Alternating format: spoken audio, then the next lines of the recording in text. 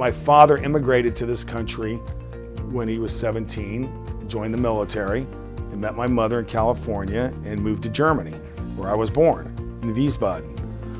Uh, we ended up living in Germany for about 14 and a half years. So I went through elementary school at Lindsey Elementary School in Wiesbaden. Then I went to Ramstein High School till the 11th grade. We lived on the military base only for a very short, short time, but my mom and my dad wanted us to really get the European experience, so we moved off the base.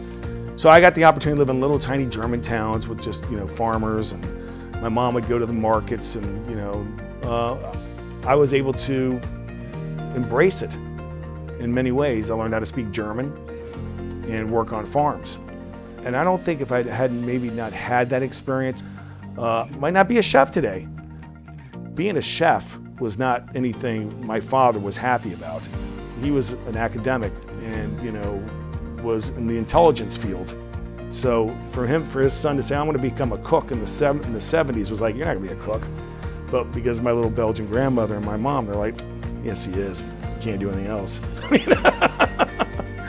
um, it, was, it was great that I was living over there and uh, went to culinary school in the Netherlands and just ran with it. I still go back to Europe a lot because I grew up there for so long uh, and because my profession being a chef, just to go eat at other restaurants and taste all the wines I could taste over there and you know educate myself even further.